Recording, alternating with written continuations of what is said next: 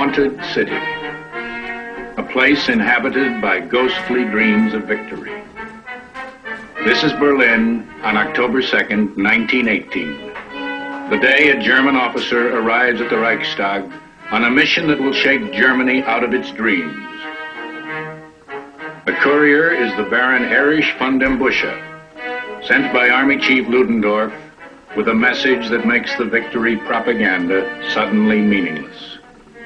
The German army is exhausted, the Reichstag is told. Reserves are used up. We cannot win the war. For years, the helpless captive of the army and its propaganda, the Reichstag is shocked. Some are incredulous. Some talk of suicide. But who can deny Ludendorff? A new liberal chancellor, the Kaiser's cousin, Prince Max von Baden, is appointed to carry out the army's new demand to send out this message. The German government requests an immediate armistice on land, on sea, and in the air. It is a message addressed not to Britain or France, but to Washington, to President Woodrow Wilson, as Germany's best hope for a lenient truce. Armistice. After four years of havoc, the world can hardly bring itself to stop. While the leaders struggle with the idea of peace, troops keep moving toward the trenches. Five weeks will pass. A quarter of a million more Americans will sail for Europe before the engines of war can be shut down. Five last violent weeks before the guns stop firing.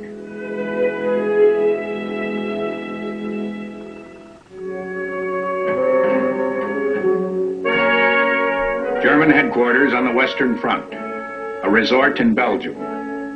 Here in October 1918, Ludendorff waits for the message that he hopes will bring Germany peace by negotiation rather than by surrender. The first word from Woodrow Wilson amounts to a rebuff. No discussion until the German army pulls out of France and Belgium. Faced with an ultimatum instead of negotiations, Ludendorff reverses himself. To the Kaiser and Hindenburg, he urges, continue the fight, even against the rising tide of defeat. The rising tide in the Balkans. The Serbian army marching home with the Allies from Salonika. Its leaders celebrating the end of three years' exile.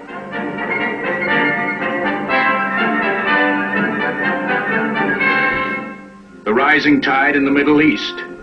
Damascus, abandoned by the German-led Turkish army, abandoned to Lawrence of Arabia and his desert cavalry. On their heels will come the Allied main guard, Allenby's British army, victors in Palestine and now in Syria.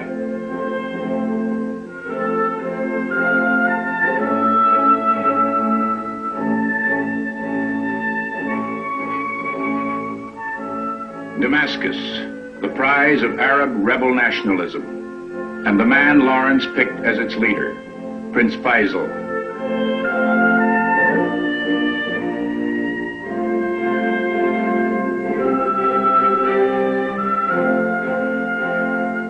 A tide sweeping away dreams of empire, the Kaiser's dream, Berlin to Baghdad. Allied warships will soon be sailing unchallenged through the Dardanelles, past the Turkish forts on Gallipoli. Beyond Gallipoli, where Allied armies suffered and failed three years before, and on to Constantinople.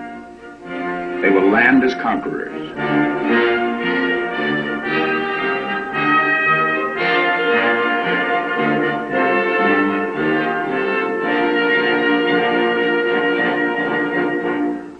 Defeat looming in Italy, where the Allies are preparing to launch an offensive from the line of last year's disastrous retreat. Marching on Germany's closest partner, Austria. The Austrian army, battered, demoralized, surrendering by the thousands. The Austro-Hungarian Empire itself is crumbling from within. A riot of nationalism breaking its ties with everything Austrian, even the language. In Prague, a free republic of Czechoslovakia.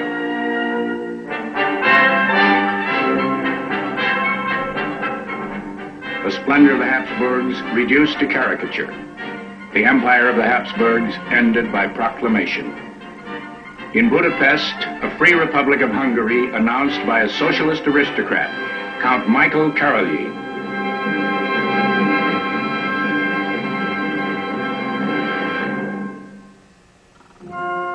Tide of defeat sweeping the Kaiser's bloc of Central Powers off the battle maps. Bulgaria, Turkey, Austria.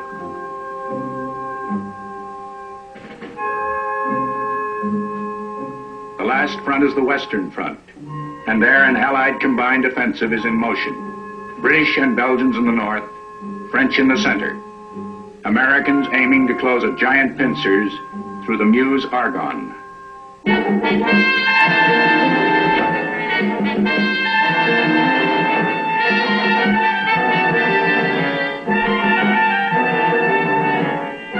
will be no race to the Rhine, only a grudging German retreat.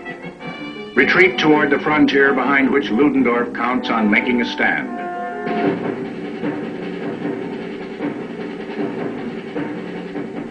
Movement is slowest in the American sector, where the frontier is closest and the German escape route is threatened. But thousands of German soldiers choose a different avenue of escape surrender.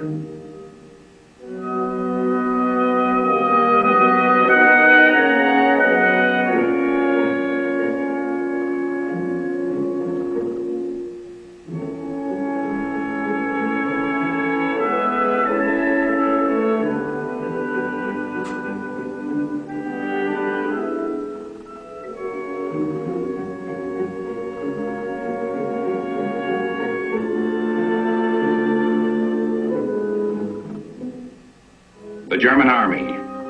Wounds dressed in reused bandages.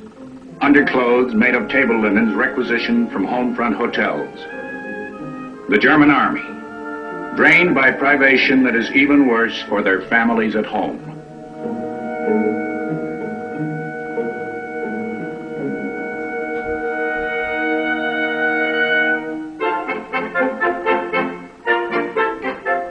The advancing Allies comes a tide of refugees returning to their villages, or what the Germans have left of them.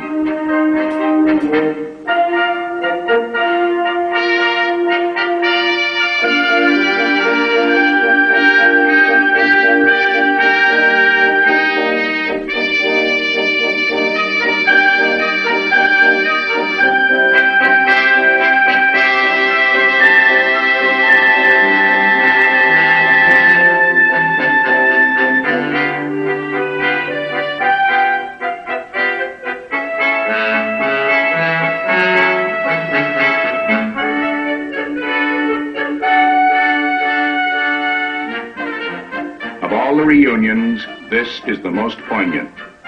Albert, King of the Belgians, returning to his country with the army he refused to surrender in 1914. With its grip on Allied soil loosening, its bargaining power all but gone, the German government decides to accept Woodrow Wilson's terms. The government, but not Ludendorff. And Wilson's own allies have their doubts.